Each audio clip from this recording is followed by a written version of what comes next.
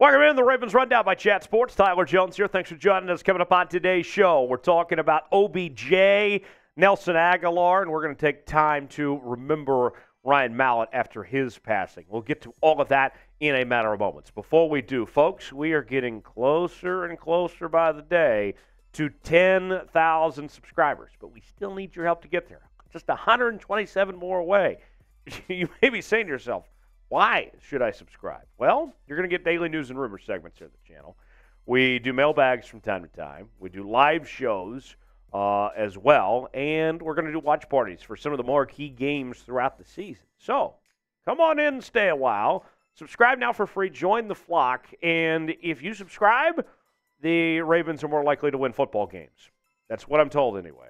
So sub for Dubs. Subscribe now for free. Turn on notifications so you never miss a moment. We'll get started with today's show.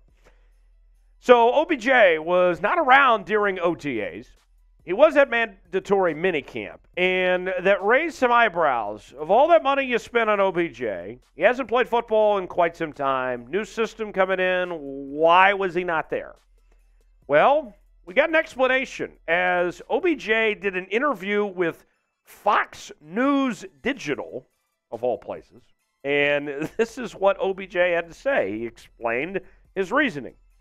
I think the excitement when I signed with Baltimore, me not being there, we have to get to the place where we understand that all of that stuff, OTAs, is voluntary. And each individual has their own lives, and we don't know what's going on with the individual and their life. I think I'm at the place where I have that one more notch that I'm kicking into, and I'm trying to save it because these seasons are long, man. It's all about peaking at the right moment. It's built with reps in the game and seeing that success there. It starts with being able to communicate and talk off the field. I don't care if the quarterback was a rookie. You tell me what you need me to do, and I'll get that done, and we adjust from there. So, simple as that. He's uh, saving himself. It's been the summer of OBJ uh, as he signed that one year deal worth $15 million. And if you've seen the rest of the wide receiver market this year, looks like OBJ did pretty good on the contract that he got from Baltimore, all things considered. Coming uh, back from that torn ACL that he suffered in the Super Bowl a couple years ago, uh, was at mandatory minicamp, though. And the report that we got from minicamp as far as his injury status is that he's a full go, that he is – there and ready to go. And one thing that I would say that I would not worry about him missing OTAs is that very last line on the graphic. And pause the video if you need to, or whatever, folks, to read that carefully, because I think it's a very important point here. He's played in this system before under Todd Monken in Cleveland. And that was the last season that OBJ had over a 1,000 receiving yards in 2019. So I say it's much to do about nothing. I am not worried, not concerned about OBJ not going to OTAs. I don't think it's a big deal, personally. He very well could lead the Ravens in receiving, potentially. Granted, it's an interesting wide receiver room this year with Rashod Bateman coming back, Zay Flowers, Nelson Agholor, More on him in just a second. I want to know will OBJ lead the Ravens in receiving? Chime in the comments section. Type OBJ for yes type no BJ for no. We have exclusive rights now to this type of weigh in, by the way. Uh, that's how that works here at Chat Sports. Let me know. Will OBJ lead the Ravens in receiving? OBJ for yes. No. BJ for no. Let me know in the comment section below. ESPN has named Nelson Agholor as the Ravens offseason breakout star with what he was able to do. And I got to tell you, we talked about him quite a bit over the last several weeks of how much he stood out to Lamar Jackson, the coaching staff, the media that was there. Uh, he made quite the impact, the impression on everybody that saw Nelson Agholor get involved in his first offseason here in Baltimore. This is from ESPN uh, about why they named him their offseason breakout star. Agholor, a first rounder in 2015, is on his fourth team in five years, but he has made a strong impression in his first offseason with the Ravens. Nelly, as Lamar Jackson calls him, has reportedly stood out, whether it's a long touchdown grab or a nifty grab on a back shoulder throw. Agholor is the clear cut number four wide receiver in Baltimore, but he's making the case for having a bigger role in the passing game. I think Nelson Agholor has been sneaky good his entire career. You go back to that Super Bowl the Eagles won several years ago, they wouldn't have won it without Nelson Agholor. I think that he's better than what people give him credit for. And I think he's going to be a nice fit in this Baltimore offense, quite frankly. We're talking about him being the number four receiver in this receiving room. At the time that he was signed, it was okay, is he your number two or three or four? I think everybody at the time was like, Nelson Agholor's fine, but I sure hope there's more guys that come along with that.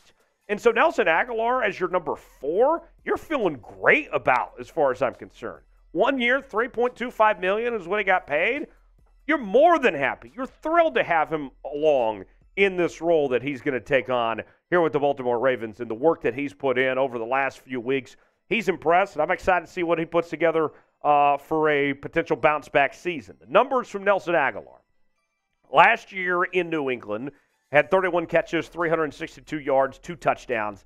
He's never had a thousand yard rece- uh, season in his career, but I got to tell you, as your number four guy, if he could just do what he did in 2021, what he did in 2020 would be really nice. But if he could just do what he did in 2021, I think the Ravens would be more than thrilled personally as far as that goes. So watch out, Nelson Agholor making some noise in this offseason so far to this point. So, what do you think? Will Nelson Agholor continue that into regular season success? If you think he will, type Y for yes. If not, type in for no. Chat in the comment section. Let me know one way or the other how you feel. Y for yes, in for no. Will Nelson Agholor have a good season or not? Let me know what you think. The 4th of July is just around the corner as we celebrate Independence Day here in the good old US of A. And I got good news for you, Ravens fans. You can not only rock out with your flock out, but also you can be wearing the stars and stripes as well will represent your favorite team. Great combination. What better duo than the Baltimore Ravens and the US of A, right? You can get this shirt right in time for the 4th of July at chatsports.com slash ravensusa. I got to tell you, it looks fantastic. And I got to tell you, it would be quite the combination if you showed up to your Fourth of July barbecue uh, with both looking patriotic and representing your favorite team at the same time. That's a win-win as far as I'm concerned. Get yours now, chatsports.com slash ravensusa to get yours today. That's chatsports.com slash ravensusa. One final note before we wrap up on today's show. Some unfortunate news this week that former Ravens quarterback Ryan Mallett passed away on Tuesday at the age of 35. According to a local news source, the incident occurred at a Florida beach. Mallett was transported from the beach to the hospital where he was ultimately pronounced dead. The uh, career for Ryan Mallett uh, started out at the University of Michigan, ultimately transferred to Arkansas, and was very solid there as a two time All SEC performer. Went on to the New England Patriots as a third round pick in 2011 and spent the uh, first five seasons of his career with the Patriots and the Texans. Ultimately, ended up with the uh, Ravens in 2015 for three years after that. And most recently, he had gotten into coaching at the high school level.